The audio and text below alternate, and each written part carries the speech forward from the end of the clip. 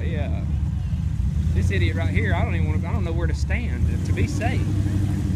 Like, there's nowhere. It's gotta be fast. This is his first, oh, this is his first trail, really.